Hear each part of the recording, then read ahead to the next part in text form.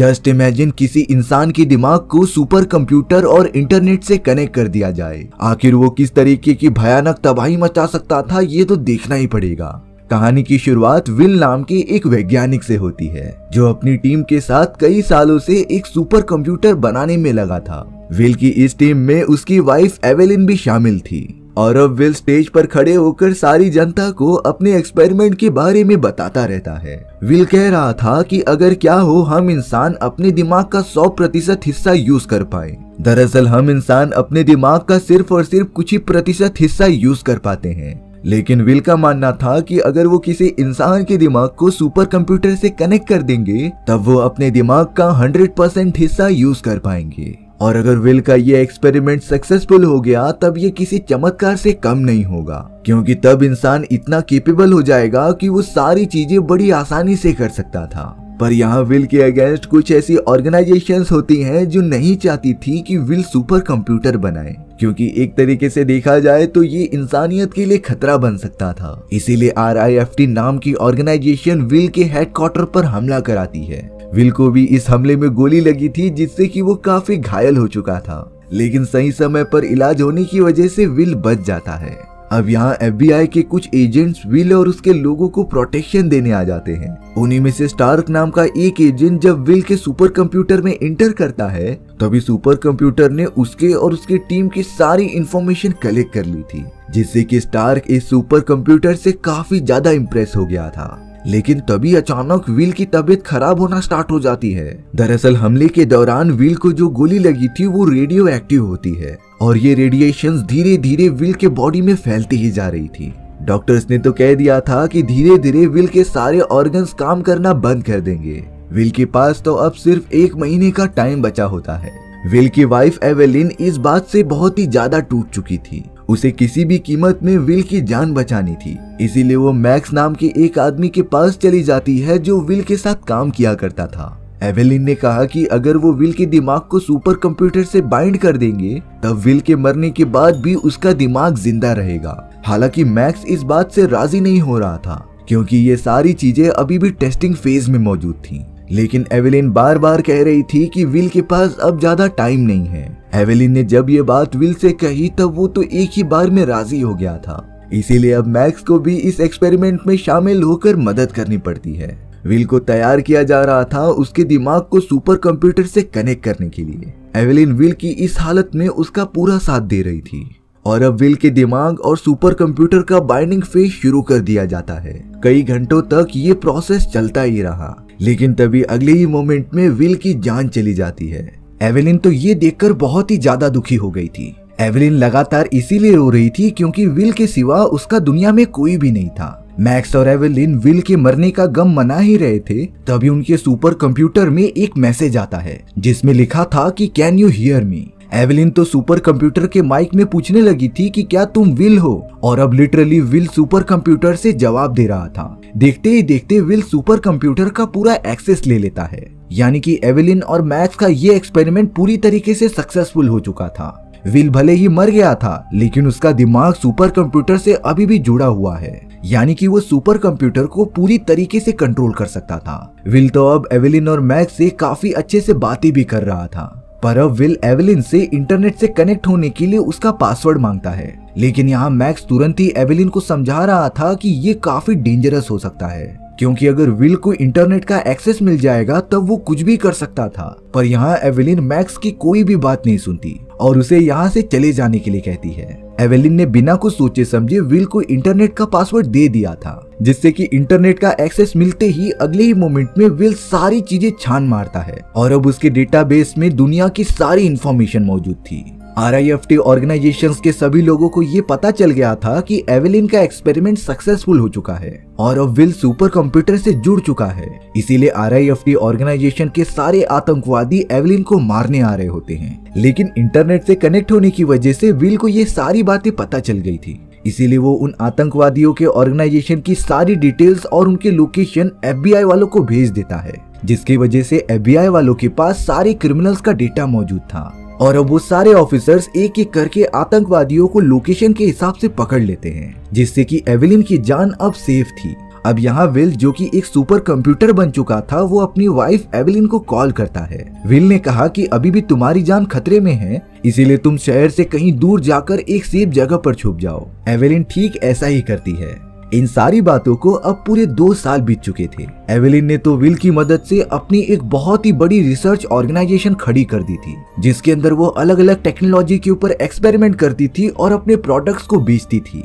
Evelyn के organisation को पूरा विल ही चलाता था, जो ऑब्वियसली एक सुपर कंप्यूटर होने के कारण बहुत ही ज़्यादा एडवांस होता है। साथ ही साथ विल के पास अब इंटरनेट का एक्सेस भी मौजूद था, जिसकी वजह से वो सारे इलेक्ट्रॉनिक डिवाइसेस और दुनिया में मौजूद सभी सिस्टम्स को कंट्रोल कर सकता था। टेक्नोलॉजी में इतने ज़्यादा एडवांस होने के कारण विल के पास ऐसी एबिलिटीज मौजूद थी, जिससे कि वो किसी भी बड़ी से बड़ी बीमारी को अपने नैनोबॉट्स की मदद से ठीक कर सकता था। इसी तरीके से एक वर्कर जिसका सर पूरी तरीके से फट चुका था, यहाँ तक कि डॉक्टर्स ने जवाब दे दिया था कि इस वर्कर को बचाना इम्पॉसिबल है। तब जाकर उस घायल आदमी को विल के पास लाया गया। विल अपने सुपर कंप्यूटर के डेटाबेस को चेक करके और नैनोबॉट का यूज़ करके उस आदमी को जल्द से जल्द ठीक कर देता है। साथ ही साथ विल ने उस वर्कर के दिमाग में अजीब तरीके की टेक्नोलॉजीज़ भी इंक्लूड की थी, जिससे कि विल उस आदमी को अपने इशारों पर कंट्रोल कर सकता था। हालाँकि उस वर्कर की जान बच गई, लेकिन एवेलिन को यहाँ पर दाल में कुछ काला लग रहा था। क्योंकि अगर विल इस वर्कर को अपने इशारों पर कंट्रोल कर सकता है, तब वो तो वर्कर से कुछ भी करा सकता था। विल के इतनी ज़्यादा एडवांस टेक्नोलॉजी को देखकर दुनिया भर के सारे पेशेंट्स विल के पास आने लगे थे। विल उन सभी को पूरी तरीके से ठीक तो कर देता, पर साथ ही साथ अपने नैनोबॉट्स की मदद से उन सभी लोगों को कंट्रोल भी करने लगता। अब तो एवेलिन का शक काफ़ी ज़्यादा बढ़ चुका था। वो तो सोच में पड़ जाती है कि उसने विल को जो सुपर कंप्यूटर से बाइंड किया, वो ठीक है कि नहीं। क्योंकि अब विल तो बहुत सारे लोगों को अपने इशारों पर कंट्रोल करता था। अगर वो इसी तरीके से पूरी दुनिया के लोगों को कंट्रोल करने लगेगा, तब चारों तरफ़ तबाही मच जाएगी। विल के इन सारी चीज़ों की वजह से एफबीआई वाले भी अब उनके अगेंस्ट खड़े हो गए थे। अब हमें एफबीआई के उस हेड ऑफिसर को दिखाया जाता है, जो कुछ आदमियों के साथ विल के ऑर्गेनाइजेशन में घुसना चाहता था। लेकिन वो लोग सामने से ना जाकर अंडरग्राउंड रास्ते से जाना चूज़ करते हैं। क्योंकि अगर विल ने देख लिया, तब वो उन सभी को आगे आने ही नहीं देगा। अब थोड़ी देर में ही एफबीआई के बहुत सारे एजेंट्स विल के ऑर्गेनाइजेशन में घुस चुके थे। वो तो वहाँ पर बड़े बड़े ब्लास्ट करके सभी को मारने लग जाते हैं। एफबीआई वालों ने तो एवेलिन पर भी बंदूक तान दी होती है। लेकिन अब विल को ये सारी बातें पता चल गई थी। इसीलिए वो अपने सभी वर्कर्स जो उसके कंट्रोल में थे, उन्हें कमांड देता है कि वो एफबीआई वालों को जाकर मारने लगे। एक वर्कर के हाथ पर तो गोली लगने के बावजूद उसका पूरा घाव भर जाता है, जिससे कि हम विल के एडवांसमेंट का अंदाज़ा लगा सकते हैं कि वो कितना आगे निकल चुका है। एफबीआई वाले भी ये सारी चीज़ें देखकर वहाँ से भागने लग जाते हैं। पर अब विल ने उन सारे लोगों को कमांड दे दिया था कि वो एफबीआई वालों का पीछा करें। वो सारे लोग लगातार एफबीआई वालों को मारने के लिए उनके पीछे भागने लग जाते हैं। वो सभी लोग तो विल के कहने पर मरने के लिए तैयार थे। यहाँ एफबीआई वाले एवेलिन को अपने साथ लेकर आ गए थे। वहाँ पर तो एवेलिन का दोस्त मैक्स भी मौजूद होता है, जो उसे विल की सारी चीज़ों के बारे में बता रहा था। मैक्स एवेलिन से कहता है कि विल अपने सुपर कंप्यूटर की पावर से इस पूरी दुनिया के पॉल्यूशन और जनसंख्या को कंट्रोल कर सकता था। ये सारी चीज़ें देखने में काफ़ी अच्छी लग रही होती हैं। पर साथ ही साथ मैक्स ये रियलिटी बताता है कि अगर ये सारी चीज़ें ऑर्गेनिक नहीं रहेंगी, तब एक समय के बाद हम इंसान भी पूरी तरीके से विल के कंट्रोल में होंगे। एवेलिन को भी मैक्स और एफबीआई वालों की सारी बातें समझ में आ जाती हैं। और अब वो एफबीआई वालों के साथ थी विल को पूरी तरीके से खत्म करने के लिए। हालाँकि विल की कोई फ़िज़िकल बॉडी मौजूद नहीं थी। वो तो एक तरीके से सुपर कंप्यूटर ही होता है। लेकिन एफबीआई वालों ने एक ऐसा वायरस तैयार किया था, जिससे कि अगर सुपर कंप्यूटर के अंदर इंसर्ट कर दिया जाए, तब विल का पूरा एक्सेस खत्म हो जाएगा और वो धीरे धीरे डीएक्टिवेट भी हो जाएगा। लेकिन इन सारी चीज़ों से हम इंटरनेट का एक्सेस खो देंगे, क्योंकि विल इंटरनेट से पूरी तरीके से जुड़ा हुआ था। अगर विल नहीं रहेगा, तब दुनिया का सारा इंटरनेट भी डिस्ट्रॉय हो जाएगा। लेकिन इंटरनेट तो वो सब बाद में भी जनरेट कर सकते हैं। सबसे पहले विल को डीएक्टिवेट करना ज़रूरी था। इसीलिए यहाँ पर एवेलिन एफबीआई वालों को एक आइडिया बताती है। एवेलिन ने मैक्स को कहा कि तुम सभी वो वायरस मेरे बॉडी में इंसर्ट कर दो। और फिर मैं विल के पास जाकर ये बहाना बनाऊँगी कि वो मुझे अपने सिस्टम से कनेक्ट कर ले, जिससे कि मेरे बॉडी में जो वायरस मौजूद होगा, वो विल के भी सुपर कंप्यूटर में चला जाएगा। एवेलिन की इस बात से सभी लोग तुरंत ही राज़ी हो जाते हैं। और अब बिना टाइम वेस्ट किए एवेलिन की बॉडी में वो वायरस इंजेक्ट भी कर दिया गया था।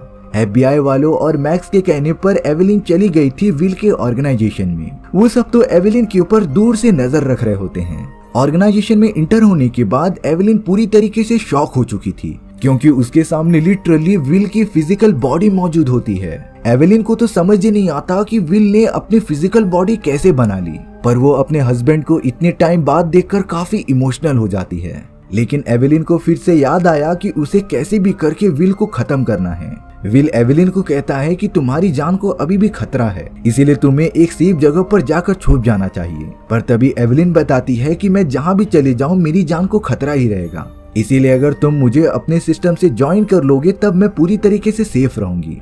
यहाँ पर विल को एवलिन के हाव भाव में कुछ चेंजेस दिखाई देते हैं। विल एवलिन के दिमाग को पढ़ने की कोशिश कर रहा था, जिसमें कि उसे पता चलता है कि एवलिन उससे कुछ छुपा रही है। वहीं दूसरी तरफ़ एफबीआई वाले जो लगातार एवलिन के ऊपर नज़र रख रहे थे, उन्हें ये अंदाज़ा हो जाता है कि शायद विल एवलिन को अपने सिस्टम में ज्वाइन नहीं करेगा। लेकिन अब एविलिन का दिमाग पढ़ने के बाद विल को पूरी तरीके से पता चल चुका था कि इन सब में एफबीआई शामिल है। इसीलिए विल ने अपने सारे लोगों को कंट्रोल करके उन सभी एफबीआई वालों पर हमला करा दिया। एफबीआई वाले और मैक्स भी अपनी जान बचाने के लिए बहुत सारे ग्रेनेड्स विल के ऑर्गेनाइजेशन पर फोड़ने लग जाते हैं, जिससे कि चारों तरफ़ काफ़ी ज़्यादा ब्लास्ट होने लगा था। एवलिन तो अपनी जान बचाने के लिए ऑर्गेनाइजेशन के अंदर जैसे ही जा रही थी, तभी एक बॉम्ब उसके पास आकर पूरा फट जाता है। जिससे कि एवलिन को काफ़ी डैमेज होने की वजह से वो अधमरी हो गई थी। विल तो तुरंत एवेलिन को लेकर ऑर्गेनाइजेशन के अंदर चला जाता है। यहाँ विल के कहने पर वो सारे लोग एफबीआई वालों पर हमला करते ही जा रहे थे। मानो कि वो सब एक तरीके से विल के गुलाम हों। यहाँ विल ने जब एवलिन को एक बेड पर लेटाया, तब विल ये बताता है कि उसे सारी चीज़ों का पता चल चुका है। उसे ये भी पता है कि एवलिन एफबीआई वालों का साथ दे रही है और अपने बॉडी में वायरस डालकर मुझे खत्म करने आई है। विल यहाँ पर एविलिन से पूछ रहा था कि मैंने जो सारी चीज़ें की हैं, मैंने तुम्हारे लिए की थी। आखिर इन सारी चीज़ों में गलती क्या है? पर अब स्क्रीन पर दिखाया जाता है कि विल के कंट्रोल किए गए सारे लोग मैक्स और एफबीआई वालों को अपने गन पॉइंट पर ले लेते हैं। एवेलिन कभी नहीं चाहती थी कि उसका बेकसूर दोस्त मैक्स मारा जाए। इसीलिए एवेलिन विल के सामने रिक्वेस्ट करती है कि तुम मुझे ना बचाकर मैक्स को बचा लो। विल चाहता तो एवेलिन को पूरी तरीके से ठीक कर सकता था, पर अब विल ने एवेलिन की सारी माइंड की बातें पढ़ ली थी। इसीलिए विल ने अपनी मरती हुई वाइफ को जानते हुए भी अपने सिस्टम से बाइंड कर लिया था, जिससे कि एवेलिन के बॉडी के अंदर मौजूद सारे वायरस विल के सुपर कंप्यूटर में घुस जाते हैं। कुछ ही देर में वायरस के फैलने की वजह से विल की हालत काफ़ी खराब होने लगी थी। यहाँ पर विल अपने आखिरी लम्बों में एवलिन से कह रहा था कि वो तो सिर्फ़ तुम्हारी ख्वाहिशों को पूरा करना चाहता था, क्योंकि एवलिन पूरे अर्थ पर एक अच्छा इकोसिस्टम चाहती थी, जहाँ पर बिल्कुल भी पॉल्यूशन ना हो और क्राइम रेट पूरी तरीके से खत्म हो जाए। यही सारी चीज़ें तो विल ने भी करने की कोशिश की थी, लेकिन शायद से अब काफ़ी देर हो चुकी होती है। विल के द्वारा कंट्रोल में किए गए सारे लोग अब पूरी तरीके से आज़ाद हो चुके थे, जिससे कि मैक्स और एफबीआई वालों की जान बच जाती है।